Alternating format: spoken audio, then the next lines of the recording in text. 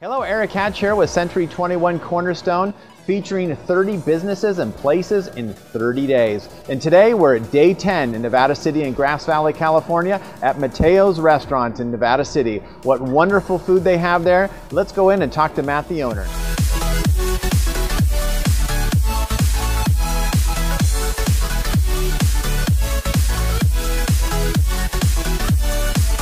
We're outside here on the beautiful patio of Matteo's Public with the owner, Matt. Matt, please go ahead and tell us about your business. Well, uh, we've been here for eight years. July uh, 9th will be our eighth anniversary. Um, we have live music seven nights a week.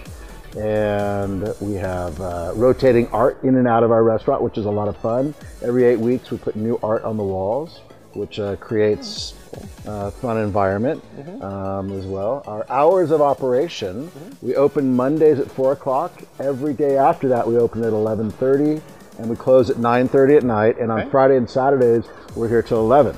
And where can they find you? Uh, 300 Commercial Street in downtown historic Nevada City.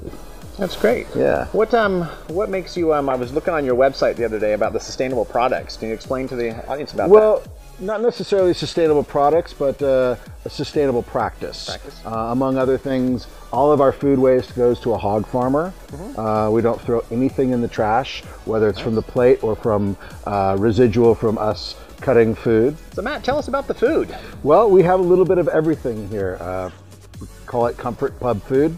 Uh, pulled pork sandwiches, fish and chips, fish tacos, uh, amazing hamburgers, steaks, seafood, and a lot of fresh salads. Just about everything we do here is made fresh. Uh, we make it from scratch, uh, homemade desserts, um, and all sorts of goodness. And we're really uh, excited for uh, getting a lot of the farm products that are about to be coming our way. Yeah.